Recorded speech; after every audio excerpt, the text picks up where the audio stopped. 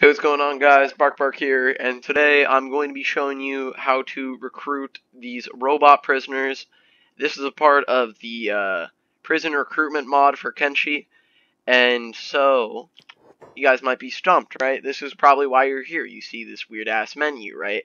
And there's no pattern that you can pick up. Maybe you may have picked it up, you're just, you're just too lazy, right? So, the pattern goes two, one, three, two, one, four, four, one, two, three, one, one, four, and three.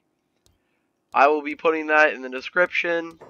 Uh, you guys are welcome for not making a fucking long ass video and me actually getting to the point. I hope you guys do find this video useful. And uh, yeah, guys, thank you guys for watching, and hopefully you um, use this and take over all of Kenshi. Uh, I guess see you guys in the next video.